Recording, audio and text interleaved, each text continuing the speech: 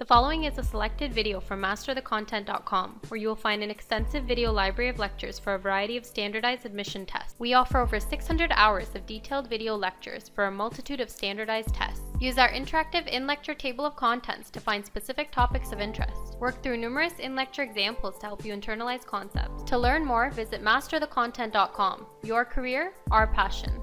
Now what we're going to do is we're going to convert grams to grams. When 450 megagrams of methane combusts, what mass of carbon dioxide is produced? First, what we want to do is we want to see if our equation is balanced. Is our equation balanced here? No, it's not. You can pause the video now, try it yourself, but for the rest of us, I'm going to continue. In order to balance this equation, we're going to need to place a 2 here and a 2 here as well. Now our equation is balanced. Secondly, before we actually do our conversions, we need to be comfortable with going from from megagrams to we're going to need to go from megagrams to grams.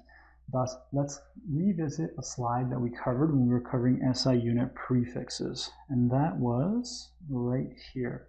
And if we see here, prefix mega, right, gives us a conversion factor of 10 to the power of 6. And what that's telling us then is that 1 megagram is equivalent to 10 to the power of 6 grams. Great. Now that we know that, let's go back and fill that into our, to our, oh, we were right here, yes. Thus, the mass of methane, right?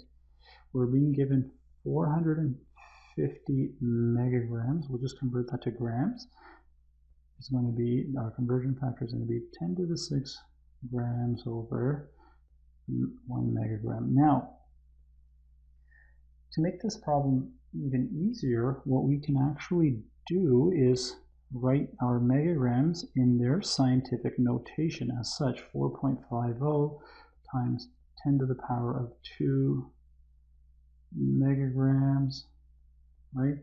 This is going to be 10 to the power of 6 grams, one milligram. Here we are, wonderful.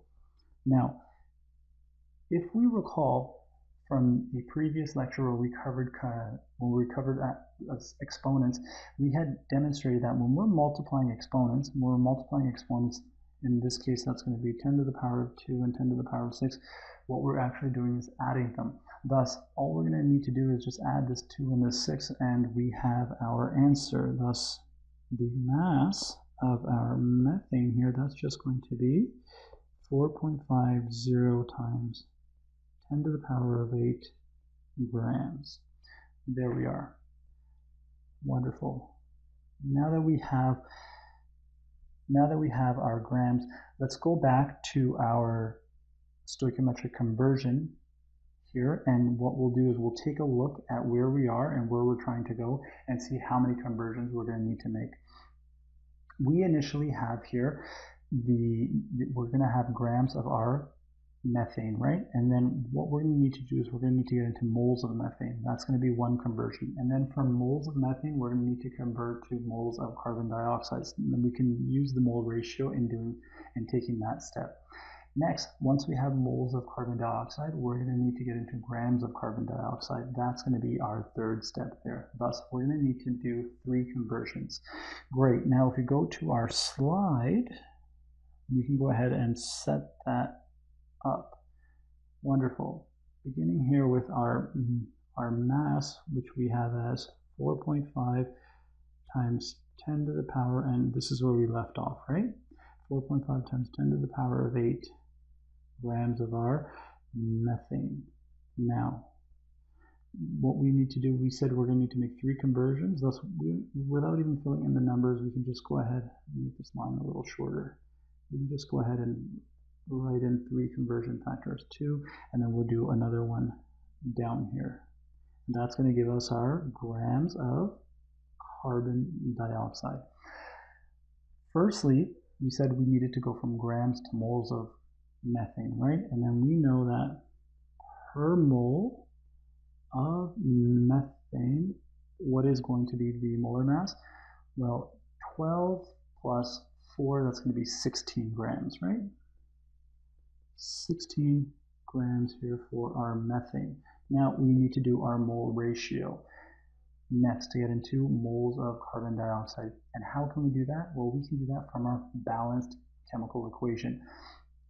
Here, how many moles of, of uh, methane here are reacting? We have a mole, yeah? And then how many moles of carbon dioxide are being produced? It's a one-to-one -one mole ratio, right? Thus, we would just do a one-to-one -one mole ratio here.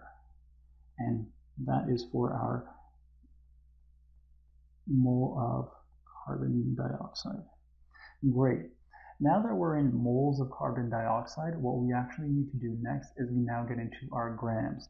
And in doing so, we know that per mole of carbon dioxide, we have 44 grams, right? of carbon dioxide. And once we go ahead and we equate this, we get a value of 1.2 times 10 to the power of 9 grams of carbon dioxide. And there we are. It's as simple as that. Thus, for when 450 megagrams of methane combusts, 1.2 times 10 to the power of 9 grams of carbon dioxide is produced. Wonderful. Let's now move on to our next slide what are we being asked? What are we being asked here now? Now what we're going to do is we're going to go from grams to molarity.